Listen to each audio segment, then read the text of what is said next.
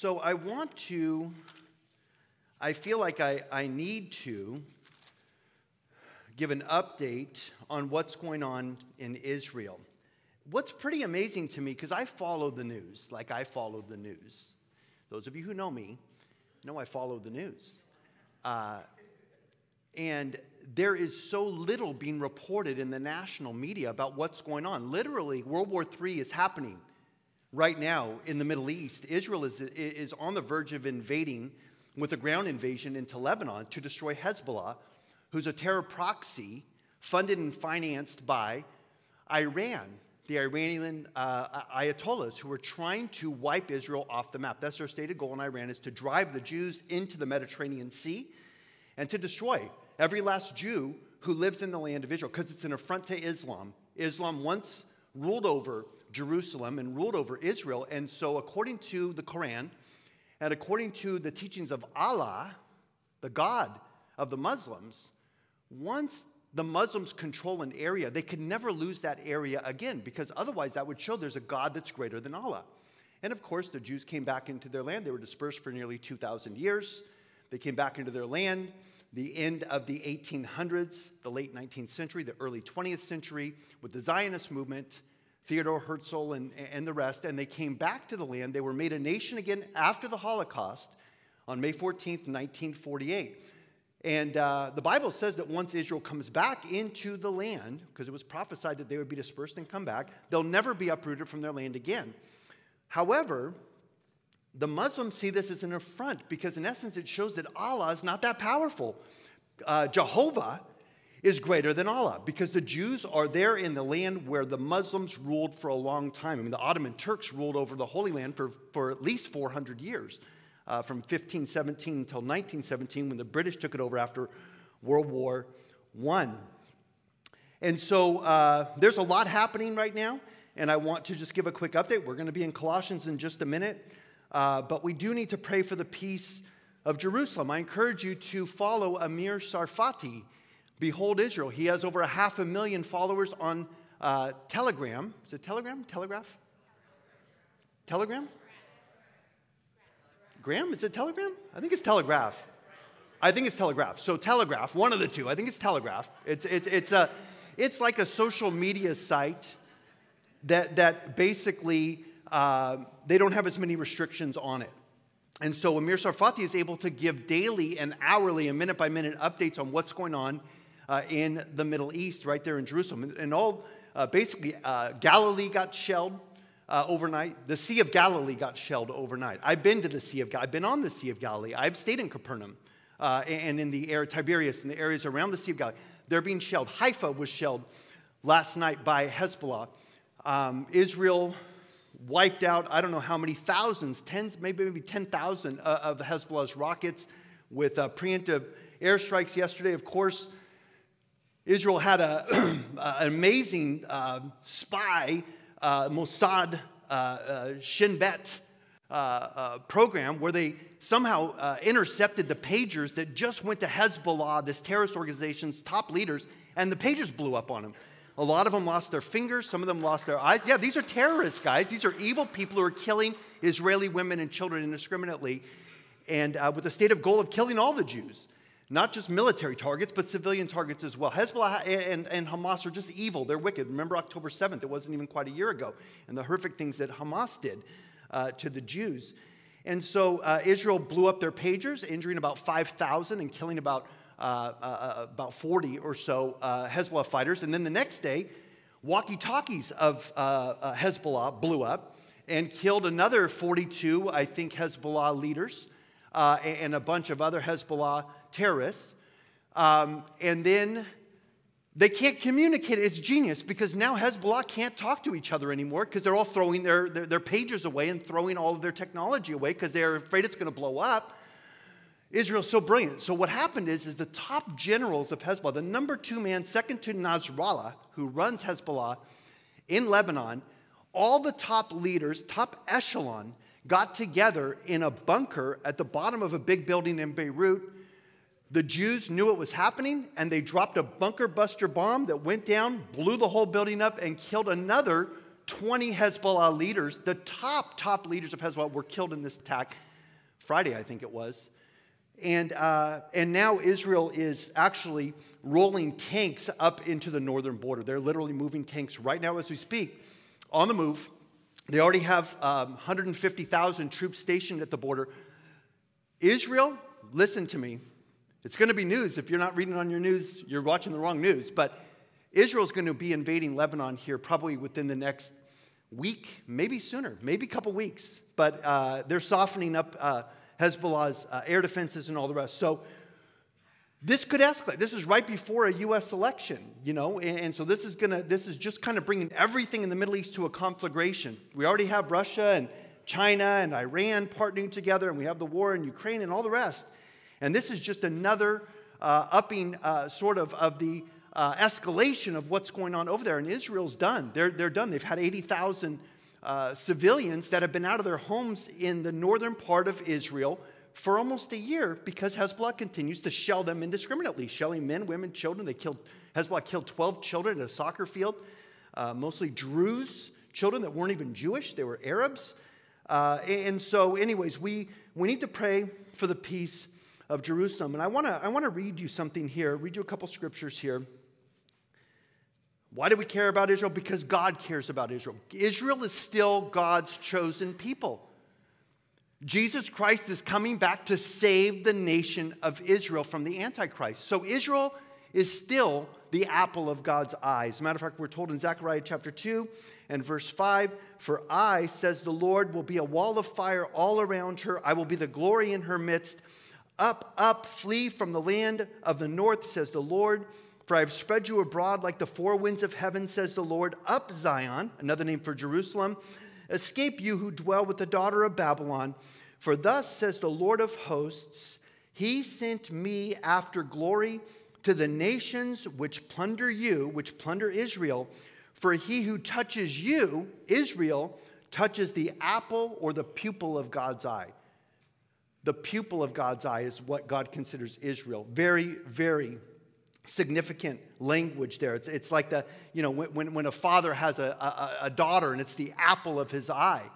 That's what it means. Like God has his eye on Jerusalem, he has his eye on Israel. And then he says, For surely I will shake my hand against them, and they shall become spoil for your, their servants, and you will know that the Lord of hosts has sent me. So the Lord uh, watches over Israel, uh, uh, he protects his, his people.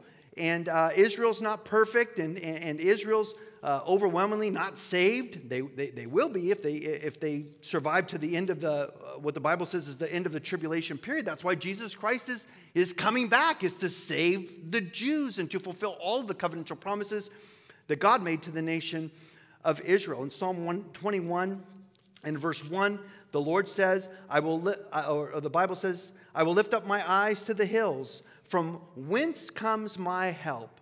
My help comes from the Lord who made heaven and earth. He will not allow your foot to be moved. He's, God is speaking to Israel. He who keeps you, Israel, will not slumber. Behold, he who keeps Israel shall neither slumber nor sleep. The Lord is your keeper.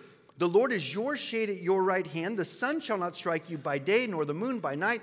The Lord shall preserve you from all evil. He shall preserve your soul. The Lord shall preserve your going out and your coming in from this time forth and even forevermore. This prophecy is given to the nation of Israel, and God still is the one who defends Israel. He's Israel's defender. They are forever a nation before God. The Lord shall preserve your going out and coming in from this time forth, even forevermore. That means forevermore, that God is going to do this for the nation of Israel. In a matter of fact, in Jeremiah chapter 31, when uh, the Lord reveals the new covenant in Jesus Christ and through Jesus Christ uh, to the prophet Jeremiah, we read this in verse 33. But this is the covenant that I will make with who? The house of Israel after those days. Jeremiah 31 33 says the Lord. I will put my law in their minds. I will write it on their hearts. I will be their God. They shall be my people. No more shall every man teach his neighbor and every man his brother, saying, Know the Lord, for they shall all know me.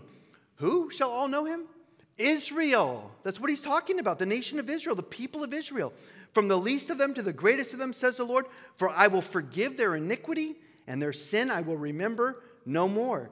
Thus says the Lord, who gives the sun for a light by day, the ordinances of the moon and the stars for a light by night, who disturbs the sea and its waves roar. The Lord of hosts is his name. Here's what the Lord says If those ordinances depart from before me, says the Lord, what ordinances? The sun for a light by day, the moon and the stars for a light by night. God says, if those ordinances, if the sun disappears, the moon disappears, you wake up one morning, the sun doesn't rise, you look out at night, there's no more moon or stars. If those ordinances, the sun, moon, and stars, depart from before me, says the Lord, only then the seed of Israel shall also cease from being a nation before me forever. God doesn't use words like everlasting or eternal or forever lightly, but He makes these promises to Israel. God made a covenant with Abraham, Isaac, and Jacob, and God is a covenant keeping God. So, as long as the sun came up this morning, God says you could trust Israel is still a nation before me forever. Then God says, in case anybody, you know, missed it, He says, if the heaven above can be measured and the foundations of the earth searched out beneath, then I will also cast off all the seed of Israel for all that they have done. They still can't measure the heavens. They have no idea what's going on in the universe, whether it's expanding, slowing down, contracting. They have no clue. They can't measure the universe. And nobody knows what's really in the heart of the earth. They keep changing their science on what's in the heart because they don't know. You can't get down that far to know what's under the earth to its core. It's all theoretical science. So again, God says if the heaven can be measured, which it cannot, and the foundations of the earth search out beneath, which it cannot, only then will I cast off all the seed of Israel. And so God is a covenant keeping God. He made covenants with Abraham, Isaac, and Jacob, with Judah, with David, and with all the descendants of the nation of Israel. And God will fulfill his covenantal promises to his people, the Jews. In Jeremiah 33 and verse 25, the Lord says this If my covenant is not with the day and night, and if I have not appointed the ordinance of the heavens and the earth, then I will cast away the descendants of Jacob. Jacob's another name for Israel, and David, my servant, so that I will not take any of his descendants to be rulers over the descendants of who? Abraham, Isaac, and Jacob. For I will cause their captives to return. I will have mercy on them. Guys, Christianity, Christianity teaches that Jesus Christ, the Bible teaches in the New Testament and the Old, that God is not done with the Jews, with the nation of Israel. And Christianity did not replace Israel. We're not Israel. Israel is still Israel, the physical descendants of Abraham, Isaac, and Jacob. God says, as long as uh, my covenant with the day and night, the sun is still there, the moon is still there at night, the stars are still there. He says, I'm not going to cast away the descendants, the offspring of Jacob, which is another name for Israel, and David, my servant, because Jesus Christ is uh, uh, of the son of David and, and, the kingly line of David, humanly speaking. And Jesus Christ is going to have an everlasting kingdom where he's going to rule and reign over the earth from Jerusalem. Uh, and, you know, God made all these promises to the Jews. In Genesis chapter 12, God made the promise to Abraham uh, I will bless those who bless you, I will curse those who curse you. And on account of you, I'll be a blessing, you will be a blessing to the whole world. In Numbers chapter 24, even the uh, prophet uh, uh, Balaam, who uh, was not a great guy, but he was still a true prophet, he says this in Numbers chapter 24 and verse 5 How lovely are your tents, O Jacob, your dwellings, O Israel. Verse 8 God brings him, Israel, out of, out of Egypt. He has strength like a wild ox. He shall consume the nations, his enemies. He shall break their bones and pierce them with his arrows. He bows down he lies down as a lion, and as a lion, who shall rouse him? It's all talking about the nation of Israel. Blessed is he who blesses you, Israel, and cursed is he who curses you. One of the reasons God has blessed America so tremendously is because America has been Israel's only friend in the world since 1948, really. The only friend that's really stood with them through thick and thin. And God has blessed America like no nation has ever been blessed in the history of the world. We certainly aren't a righteous people. We don't deserve to be blessed. But we are the most blessed nation in the history of the world. We're the most prosperous nation. We're the wealthiest nation. Even the poorest among us, even the homeless, are wealthy uh, by third world standards all around uh, the globe. And then one more scripture here before we pray uh, New Testament, Romans chapter 11, talking about the Jews, Paul says this in verse 25 of Romans 11. He says, For I do not desire, brethren, that you should be ignorant of this mystery, lest you should be wise in your own conceit, that blindness in part has happened to Israel until the fullness of the Gentiles has come in. In other words, God has uh, put Israel aside to save the Gentiles, Jews and Gentiles, who make up the body of Christ, a new man in, uh, the body of Christ. Christ the head, we're the body, many members, Jews and Gentiles, make up the body of Christ, the church. God has set the nation of Israel aside. But when the fullness of the Gentiles has come in, when that last Gentile gets saved, then, verse 26 says, all Israel will be saved. Romans 11 26. All Israel will be saved, as it is written. The deliverer will come out of Zion. He will turn away ungodliness from Jacob. Jacob's another name for Israel. For this is my covenant with them when I take away their sins. Concerning the gospel, they are enemies for your sake, but concerning the election, they are beloved for the sake of the fathers. Romans 11 29, for the gifts and the calling of God are irrevocable. Have you ever seen an irrevocable trust? It's unchangeable, it's unalterable. God is God. When He makes a promise, He keeps His promise. And He made tremendous, not just one promise, but a whole Bible full of promises to the nation of Israel. It's an irrevocable promise because God uh, is a covenant keeping God. And so, um, we want to pray now for, for, for the nation of Israel, uh, also for the civilians on both sides, uh, even as we prayed when Israel invaded Hamas uh, in Gaza and it's pretty much obliterated uh, the entire uh, military uh, organization of the terrorist group Hamas in the Gaza. So let, let's bow our heads and pray. And Father, we thank you that you, the sun came up this morning. You tell us as long as the sun comes up in the morning, your promises stand to your people Israel. The moon uh, has been out, a nice full moon and harvest moon, Lord, the, the beautiful stars at night. And you tell us, Lord, as long as the moon is in the sky at night and the, and the stars are shining in the heavens at night, your promise with Israel stands. Lord, you tell us that if we can measure the heavens and measure the depths of the earth, then, then maybe your promise to Israel would fail. And yet, Lord, we can't measure the heavens. We have no clue. And we can't measure the depths of the earth, Lord with all of our science and brilliance and technology, we still have no clue. And Lord, thank you for giving us these uh, examples so that we would know your promise to your covenant people Israel still stands. And Father, we pray, uh, Lord, for that tiny nation in the Middle East, uh, just six million Jews there against all of these vast armies uh, uh, of Islam that are uh, just trying to drive them into the sea. We thank you for preserving your people. We thank you for bringing your people back to their homeland May 14th of 1948 and resurrecting the nation of Israel from the dead. We thank you that you promised in your word that once Israel returned to the land in the last days, they would never be uprooted from their land again. And we thank you, Jesus, that you tell us you're coming back to set your feet on the Mount of Olives to destroy Israel's enemies and to save your covenant people, your brethren, the Jews. And so, Father, we pray, Father, for uh, uh, the civilians there and the citizens of, of Israel. You would keep them safe. Thank you that no one has been killed by all these missiles that have been flying in the last couple of days uh, from Lebanon, from uh, Hezbollah. Lord, you've been uh, watching over your people. We continue to pray for protection.